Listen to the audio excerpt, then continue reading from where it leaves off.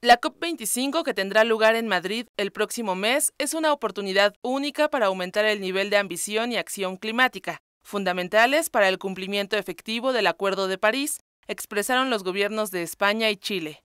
Por esa razón, Chile, que ejerce la presidencia entrante de la COP25, y España, como país sede de la conferencia, expresaron de manera conjunta su deseo de que Estados Unidos pueda reconsiderar su decisión de abandonar el Acuerdo de París.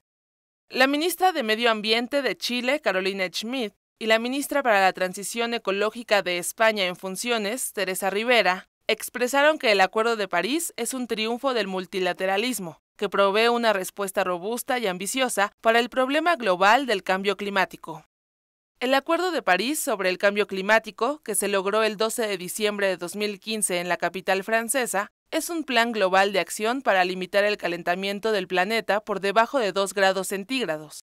El apoyo global al Acuerdo de París, ratificado a la fecha por 187 países, marca una clara señal de compromiso de la comunidad internacional con la lucha contra el cambio climático.